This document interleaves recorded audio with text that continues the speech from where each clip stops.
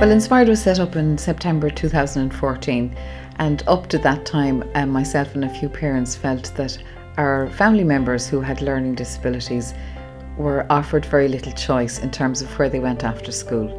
And we were quite intent that they would continue on their education and be properly included in the community and feel that they had a place in the community and also look towards employment and be upskilled.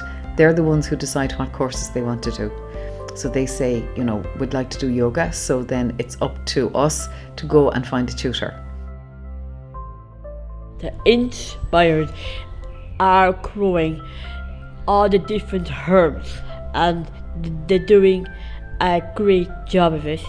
And the class that we're doing we love it and we enjoy it we are using com- compost and you you put a good bit in it and then you put seeds over it. We're growing these these food for for cooking preparations because you get to pick out all the different meals. My favorite meal that I have done was was shepherd's pie. You boiled the potatoes and you let them simmer and then it goes nice and fluffy. Jillian is the one who created the class for us.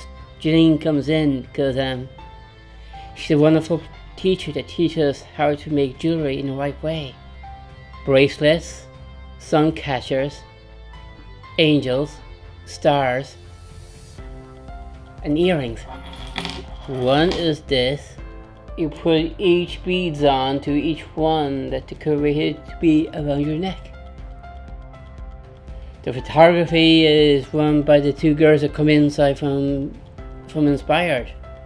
There's two girls that take us around to other places to have the exhibition of photography. The park, the church, and a few other places I don't know where. It's very incredible. Zumba is the part of my life because I love Linda so much. She's very good teacher teaching all the moves. Uh, uh, cause it's, uh, cause it's, as it is very good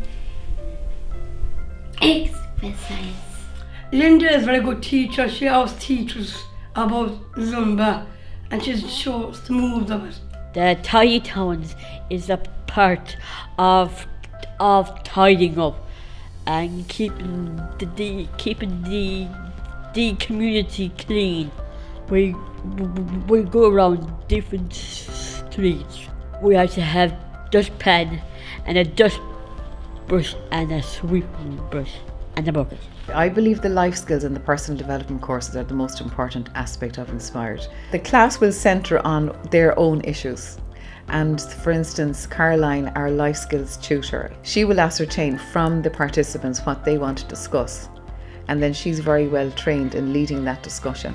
And then they can move forward instead of being stuck in a groove because that's very common in people with learning disabilities that they just don't have that capacity to move forward.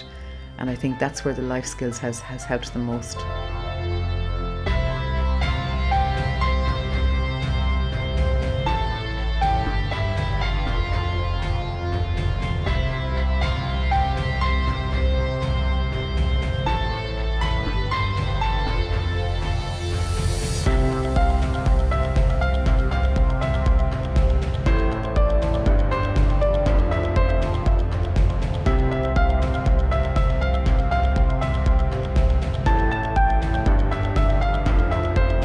Well, it's been amazing. It's been a, it's been a great experience, I think, for for both the volunteers, the tutors, and the participants. And we have seen the participants grow in such confidence that that has been the best part of it, really.